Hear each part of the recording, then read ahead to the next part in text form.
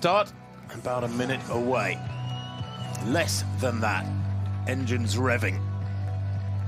100% focus.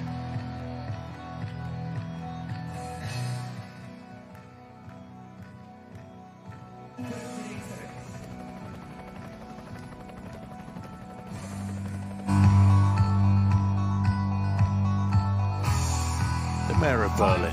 How appropriate. Three, two, one, go! They are underway then in Berlin. Is a world record on the cards this morning for Eliud Kipchoge.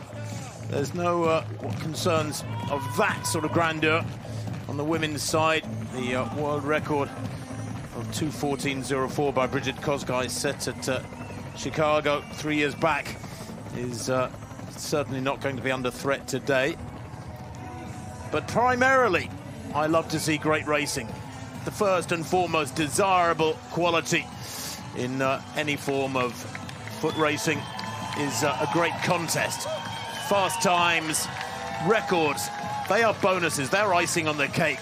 99% of the cake is the uh, the actual racing man-to-man, woman-to-woman.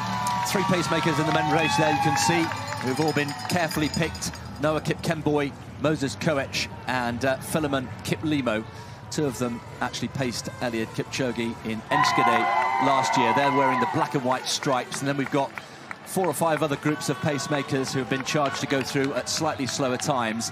And Tim, well, the news came through yesterday, didn't it? Confirmation that the pace for this leading group with Kipchoge, they're aiming to go through halfway in 60.50.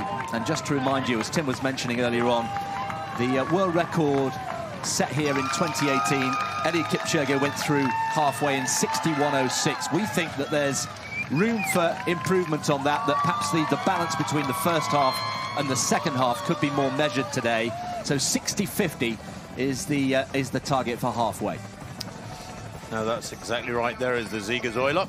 They pass after just, uh, what, about 600 metres. You can see less than two minutes on the clock.